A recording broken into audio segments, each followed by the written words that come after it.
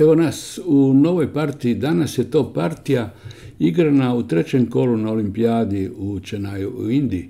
Ovo je partija u stvari e, na zadnjim stolovima, e, partija iz meča Gambija Džibuti. Igrana je bijeli, e, Omar Aden Omar protiv Rili James Matthewa. Pa želim ovoj partije pokazivati zašto. Zato jer tu se da nešto naučiti na ovim partijama vrhunskih velemajstora tu se nema šta, tu se, recimo, pretpostavljam da to ipak slijede, da me slijede malo slabiji e, igrači, nisu profesionalci i tako dalje, pa je teško razumjeti ovaj, onaj šah. Ovo je nešto puno prizemnije, ovo, je, e, ovo sam našao tu partiju koja mi jako liči na one partije od Morfija, e, znači iz romantičnih vremena. Znači, e, neko je tu pogriješio i e, jedna od, strana u ovom slučaju to je bijeli, znači Omar Raden Omar, koji je igrao za Džibuti. E, očito je znao dosta toga više i što bi se reklo, rasturio je crnog. Bijeli znači na potezu igra E4. E4, E5, skakač F3, skakač C6. Taj dio je za sad sve normalan. Lovac C4, bijeli igra znači to je nudi, nudi e, talijanku koju bijeli prihvaća, koju crni prihvaća, C3, skakač F6. To je sad, sad sve normalno, D4, E, D4. To je sve ovaj, još uvijek normalno. I sada, međutim, e, bijeli igra e, jedan potez koji u biti, gdje treba znati reagirati. Ja sam, o tom, ja sam o toj poziciji u dosta navrata govorio u mojim ranijim komentarima gdje sam komentirao baš partije e, iz tog romantičnog doba i Morfija i nekih drugih igrača gdje se često su sretale, gdje se često su sretale takve pozicije. Taj potez je E5. E, bijeli ovoj poziciji igrao E5, međutim da je igrao CD4, to je sad uvod u jednu normalnu poziciju iz talijanske partije gdje nakon lovac B4 crni e, bijeli igra lovac D2 i sad e, pozicija je znači kad bijeli kad crni uzme na D2 skakaš D2 D5 i to je sad nekakva jednaka mala prednost bijeloga. Tu ima nastavak umjesto lovac D2 i skakač C3 puno oštri, isto vodi u razne komplikacije, ali tu bijeli, e, tu crni ima isto dobre puteve kako doći do jednakosti. Imamo E5. To je ta jedna, ovaj, jedan potez koji, ako ne, crni ne reagira pravilno, odmah stoji loše. Stoji loše i, i, i dolazi, mislim, u slabiju poziciju, teško mu se poslije vaditi.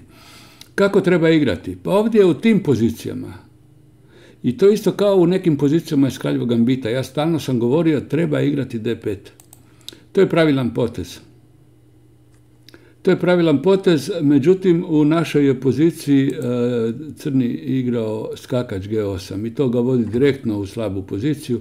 Naime, u toj poziciji D5 i sada e, bilo bi logično lovac B5, skakač 4, CD4, lovac B4 i to je jedna pozicija gdje bijeli stoji nešto bolje, ali crni nije izgubljen, kao što je manje više došao u jednu potpuno e, pasivnu i lošu poziciju koju je više već e, u toj fazi rano, ranoj fazi teško izvući. Igro je skakač G8. Šta to znači? Znači da je on u otvaranju potrošio jedan tempo skakač F6 drugi za povratak. To jedno. Drugo, bijeli je ovladao kompletno centrom nakon što će sada uzeti na D4. I to je već jedna, u, tako, u, u jednom recimo kvalitetnijem šahu, to je jedna ogromna prednost. E, tako, to je takva prednost da jedan dobar majstor bi to doveo do kraja, do pobjede. Znači, ne trebaju ni figure više, ni, ni pješaci više, dovoljna je ovako jedna velika prednost. Skakač G8, CD4, to što smo najavili, CD4 i lovac B4. Opet, opet je glavni potez bio D5. Zapamtite to, treba se oponirati u centru što je prije moguće. na uzimanju uzme lovcem i tu je, bijeli, e, tu je crni riješio neke osnovne probleme. Znači, crni nije imao, nikomu nije to pokazao, nije imao znači, nekog dobrog majstora da mu to pokaže i nije znao. Lovac B4 dao šah, skakač C3 i sad opet, jedan da ga tako nazovem, paceraje. igra H6 potez. Ovdje je opet rješenje u potezu D, D5. Mora oponirati, mora se on ovdje otvoriti da bi razvio i lovca učvrstio ovaj centar. To je baza, to je baza šaha. E, uvijek e, vodite brigu o centru. Ne ide 6, CD6 i to je odlična pozicija. Mislim, odlično obzirom na ono slabije, naravno crni dosta, ali odlično obzirom na ono što je, u što je došlo nakon H6. Naime, dama B3, ovo je sad nišan. Nišan je znači na F7. Ovaj, e, lovac C3 i BC3. Dama je 7. Crni se opet brani, ovaj, kako da to nazovem, više ni ne znam, e, pasivno, loše, pacerski, kako šta znam. Ovdje, e, ovo je već jasno, recimo, izgubljena pozicija. Tu možda je ovako nešto se moglo igrati, pa na e, kralj, e, lovac F7, kralj F8. Pa na dama A3 da uzme ovog na E7, dama A5 i sad skakače 7, to je izgubljena pozicija. To ja komentiram čisto tako da gledalci mogu nešto vidjeti. Ovaj, da postoji nekakvi, nekakvi otpori, ali to je, kažem, sve izgubljena pozicija. Nakon dama je sedam, međutim tu se rastalo sad za, u korist bijeloga. Postoji jedna partija, čini mi se Morfija, koji, koja ide na, na sljedeći način, lovac A3. Mislim da je to Morfi negdje igrao tu. Ima takvih, ili Andersen, to su takve pozicije da to se igra sad samo od sebe. D6. Tu je opet nekakva solucija bila dati damu za dvije figure na način ovako pa na dama 4 skakač C4, lovac C7, skakač B6, pa na dama 3 skakač C7, ali to je sve, sve to izgubljeno, nema, nema smisla u jednom smislu, ali dobro, među, među ovakoj, ovakoj kategoriji, u ovakvoj kategoriji igrača to se podnošljivo. D6 i bijeli ide u rokadu. Sad ne pomaže, a kad ide u rokadu ne pomaže skakača 4 na to računa. E, bijeli zbog dama 4 pa ga vrati rokada i lovac na E6. I sad koji je tu prirodan potez? To je izgubljeno, tu, je moglo, tu se moglo igrati i skakać F6 i umjesto F6 dati normalnu figuru i pokušati bježati u neku, nekakvu rokadu ako može, ali ništa, nema spasa. Umjesto sada poteza D5, e, bijeli je mogao vrlo jednostavno ovim potezom doći do odmah u materijalnu prednost veliku, znači gubi tu figuru još e, bijeli, tako da e, na to B8 dama C6 izgubio znači skakača, na lovac D7 negdje vrati damu na 6 ili negdje i to je dobiveno lako. Međutim D5 igrano u partiji i sada na lovac D7 DC6 i na LC6 ED6.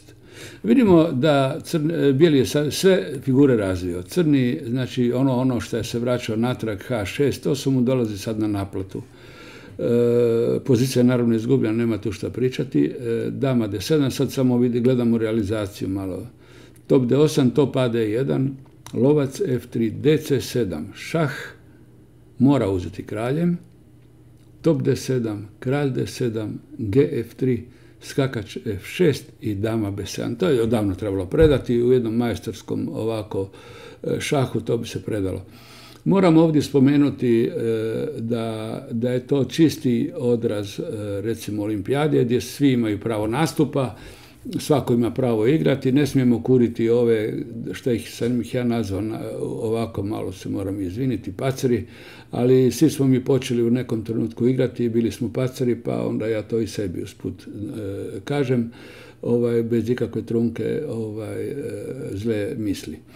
Ok, eto vidjeli smo sad jednu partiju, ima i toga, i toga ima na olimpijadi i takvih partija, nije tu samo Karsen, nije tu samo e, Šarić, nije tu samo e, Ivić i, i, i drugi vrhunski velemajstori, znači ima tu i takvog šaha.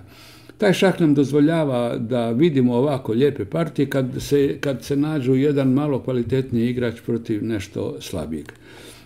Ok, toliko od mene za sada. E, ja vas pozdravljam. E, Biće još takvih partija, ja se nadam.